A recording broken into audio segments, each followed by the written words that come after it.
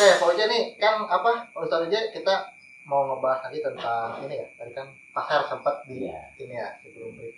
Nah, itu gimana tuh? Kan sekarang banyak tuh orang-orang yang suka ke pasar, Hmm. beli baju, ya kan, padahal sama pemerintah dilarang. Nah, itu menurut pandangan Islam itu gimana? Kalau lebaran emang harus pakai baju baru atau gimana tuh? itu ada ada wajib ada wenang jadi kalau wajib buat anak. Iya, betul, betul. kalau anak kalau beliin baju pasti nangis. Iya, pasti. nangis dia. Karena nggak punya baju baru baru. kalau buat bapaknya wenang. Pakai baju baru silakan. Iya. yang jelek silakan. Tapi kalau saya sih melihat baju tetangga juga udah aman. Gimana tuh? tetangga pakai baju baru alhamdulillah.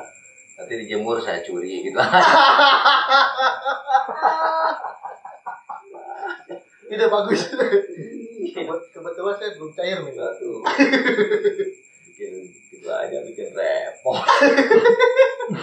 Pokoknya incar dulu ya. Incar Iya. dulu nih mana yang udah beli baju. kalau ini ke, pasar ke pasar kadang-kadang anak muda ke pasar bukan beli bajunya Apa? nih? senggol senggolannya Oh gitu. banyak wanita banyak apa gitu kan Tetap ya modus lah ya. iya banyak kan modus ya jadi kalau kita rumah tangga nih anak belum pakai baju woi tiap malam perasaan ini kepala di sini durian di sini durian ya Kebayang gitu. kebayang oh, ini perasaan bisul di sini. Pak istri, oh kalau istri, eh kalau istri udah pakai baju baru, pakai gelang penuh, waduh, Manggilnya juga beda ya. luar biasa. Duh, salaman juga begini.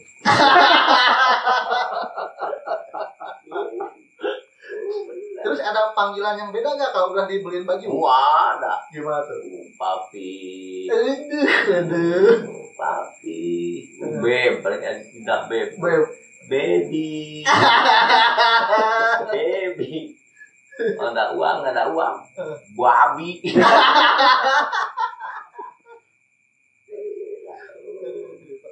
Ini kalau cincin penuh, gelang penuh, salawatan di paling depan. Oh gitu. Sholatullah.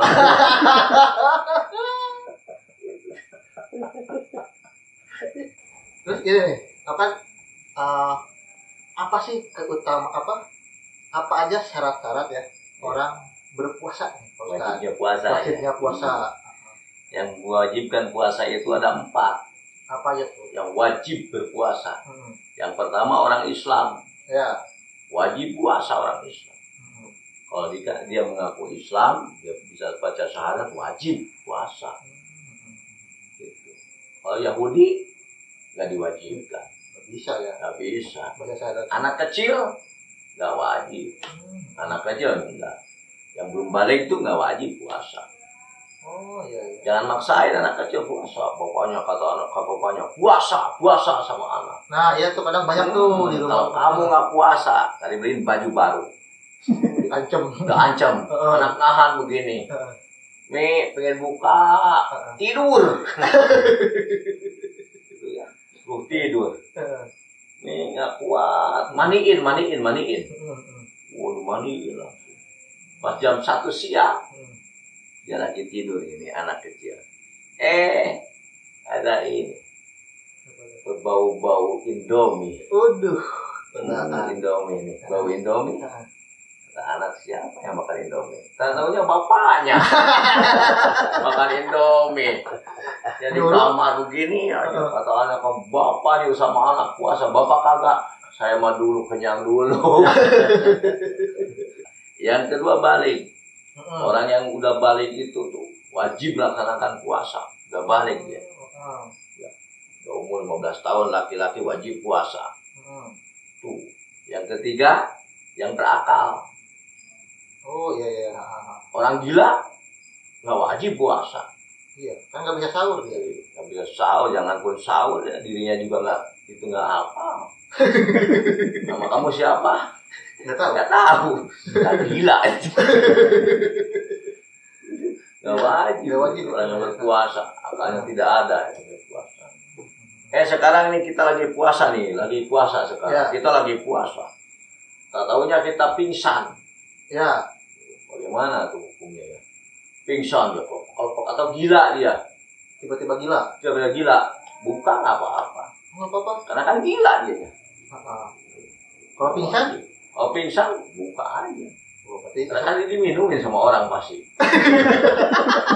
itu iya kan orang pingsan diminumin berarti besok saya mau Pingsan aja, iya, ah. pingsan. Ya, seterusnya 12. Oh, jangan dong. pingsan Iya, iya. berakal nih yang orang balik Hmm. pertama Islam balik akal Yang keempat. yang ya? keempat kuat Oh, orang yang kuat Ah, ah, ah. yang sakit nggak boleh puasa Oh, gitu. diwajibkan buka orang yang sakit Ah. Kalau meriang-meriang doang gimana itu? meriang-meriang doang udah biasa menahan perut namanya meriang meriang aduh memang orang lapar mah kedinginan Oh, gitu. Karena kan suka kepa- kepala pusing ya. sekarang nih panas puasa lagi dingin langsung Hmm, iya, iya. itu orang berpuasa ya pak kedinginan Iya. orang yang berpuasa itu. Jadi puasa itu indah. Mau tidur silakan. Hmm, indah puasa. Dibawa bagaimana? Dibawa tidur? Boleh. Boleh. itu orang yang berpuasa. Ya. enaknya berpuasa begitu. Akan dijaga semuanya orang yang berpuasa itu dari penyakit penyakit Hmm.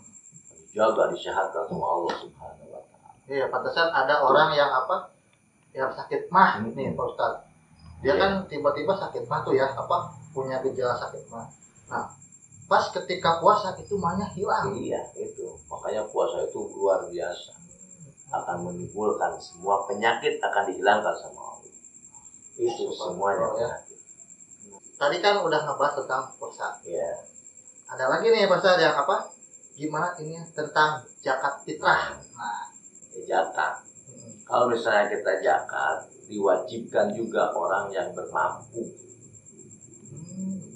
Kalau tidak mampu, orang yang tidak mampu mah tidak wajib zakat dia juga susah betul. ya ini seperti anak lima rumah nggak punya puasa sih puasa dia cuma ini zakatnya bagaimana daripada anak kita kelaparan istri kita kelaparan udah pakai kita dulu Hmm. Berarti lebih mementingkan ibaratnya diri kita dulu ya. Oh, itu kita dulu jangan zakat karena dia udah nggak mampu zakat sampai sekarang corona. Ya, betul gimana tuh? banyak sekarang yang menerima zakat. Ya, corona. Karena corona susah semua. Betul. tapi siapa yang mau zakatnya? Kalau menerima semua. Iya kan? Ya mungkin pemerintah nanti ngasih zakat lah. iya. Pemerintah zakat dari mana? Semua sekarang nih banyak banyak eh, apa, banyak kebohongan kebohongan sekarang nih setiap itu KTP-nya kakaknya diambil semua Hmm, bagi sembako sembako. sembako ya. Mau dibagi ini semua satu RT ini berapa dikumpulin semuanya yang menerima dua orang RT pusing Itu mungkin sebuah contoh. Iya. Insya Allah Makanya. depannya ada lah ya. makanya kita jangan selalu Hmm, kita percaya sama orang lebih baik kita percaya kita sama betul. Inna Allah la tuhrikul mi'ad Hmm, Allah tidak akan jali dari janji-janjinya kalau orang banyak dustanya ini Betul. seandainya saya nanti jadi pejabat ah, saya jadi lurah nanti ah. ini semuanya di aspal sama saya semua jalan ya. pakai tai kebo Yang penting hitam ya. janganlah. Jangan. kita lebih baik kita sama Allah. Hmm, jadi kita percaya kita sama Allah. Ya kalau zakat hmm. yang menerima zakat itu ada fakir. Kalau fakir nggak ada di kita. Oh, kalau fakir itu orang yang tidak mampu benar-benar. Tidurnya di emper-emper masjid. Kayak di Ya. tempat Rasulullah. Di Ah. emper masjid Rasulullah dia tidurnya. Itu mana wajib menerima zakat. Fakir kan kita bagi dua apa ya tuh? ada fakir miskin Ah. ada parkir mobil Iya benar benar benar benar. Iya. Berarti kalau apa? Kalau ibaratnya yang masih punya rumah, Iya. yang masih punya Mobil. oh, mobil. punya motor itu wajib zakat jual dulu motornya buat zakat nggak apa-apa harusnya begitu ya Hmm. Ustaz ya percaya aja sama Allah ya Saya alhamdulillah saya di rumah nggak punya apa-apa, punya mertua, ada kalungnya dijual. Saya jakat, pinjam apa-apa. itu nggak nggak takut dipecat Enggak. Enggak. takutnya kan dipecat atau pinjam dulu deh Kalau saya mau sayang sama saya benar-benar sayang alhamdulillah sama saya Allah. Kehilangan sedikit juga dia. Nyari, iya, itu kenceng banget tuh iya, nyari sama saya. Saya juga sayang sama mertua. oh gitu Sayangnya saya minta nggak mau ngasih. itu bisa aja nih bener-bener Ya, zakat tuh. Karena zakat ini wajibnya zakat, ini puasa-puasa kita. Ini semuanya disimpan di langit zakat ke satu sama Allah. Puasa kita semua itu ke satu. Pas datang zakat langsung diterima Dianterin sama ya. Allah. Dianterin sama zakat kita. Subhanallah. berarti harus yang mampu ya yang mampu harus apa Iya. harus zakat ya kalau nggak mampu jangan zakat Ada pertanyaan kemarin juga nih. Gimana? Anak yatim wajib menerima zakat ya. Anak yatim mah bukan zakat. Anak yatim setiap hari sama kita urusin. harusnya Harus. Jangan setiap setahun sekali. Hmm. Setiap hari. Kalau saya begitu sama anak yatim. Bapaknya meninggal. Besok ngasih. Neng, saya mau ngasih. Ibu kamu ada nggak? Nggak ada. Nggak jadi saya.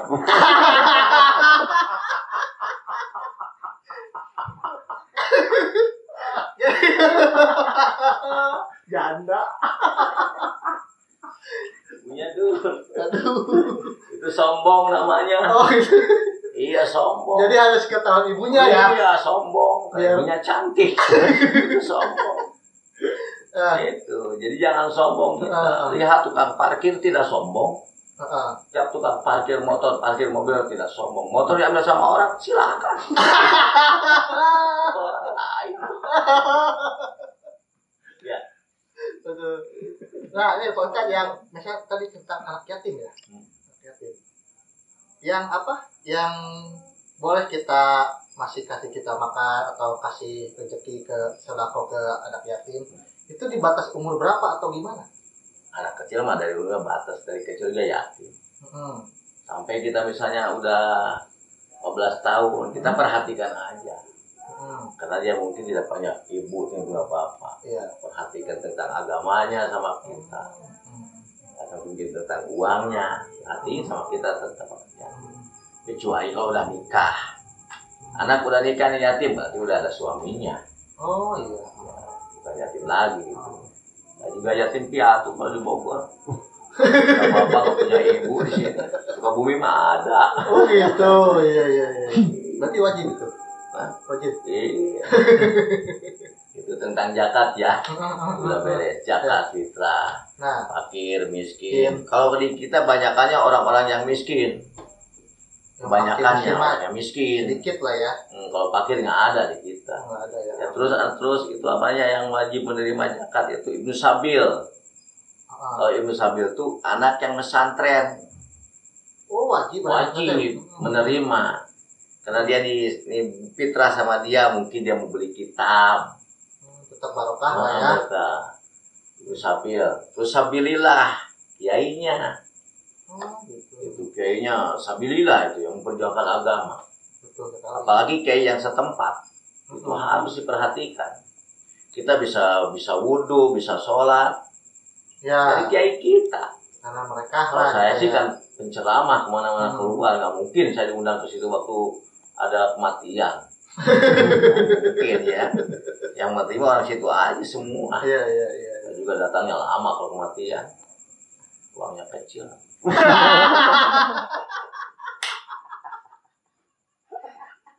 kalau ada kematian woi? Gimana tuh? kalau masjid nih diumumin di masjid. Ah.